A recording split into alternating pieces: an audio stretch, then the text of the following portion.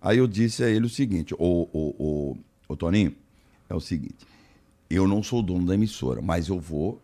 Quanto você quer ganhar? Ele falou X. Ok, vou levar a direção da emissora. Eu, eu, eu mando no meu programa, mas eu não mando nas finanças da emissora. Aí tem todo o departamento financeiro, tem a direção artística, tem o, tem o RH, então, né? Muito bem. Aí eu levei, a direção falou que não. Podia dar um outro valor, aquele não. Ele, pá, pá, pá. Bom, aí ele começou a usar as pegadinhas do programa nas redes sociais dele na coisa, no YouTube dele, aquela coisa toda. E aí eu fui chamado, pô, João, o Toninho tá colocando tal, sem permissão, papapá, porque tem o digital da Rede TV, até eu, para colocar, eu tenho que pedir permissão. Aí eu fui chamar ele, falei, ah, não quer fazer. Bom, resumindo a história.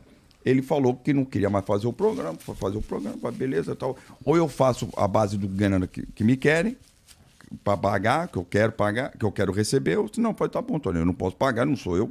E saiu fora. E foi assim que ele saiu. Ele não saiu como cachorro, ele simplesmente, como qualquer empresa, ele manda uma proposta, a emissora dá a proposta, Decide se decide se dá ou não. Então ele não saiu com o cachorro. Primeiro que ninguém trata ninguém com cachorro. Primeiro é eu. Pelo contrário, eu, eu sou a maior testemunha do talento que ele tem e o quanto ele ajudou o programa. De- deu muitas audiências ao programa, como o Marquinhos deu, como o Renê deu, como outros profissionais deram. E assim, o programa continuou, beleza e tal. O- a coisa que mais ah, ficou deselegante, num podcast que a gente acompanhou,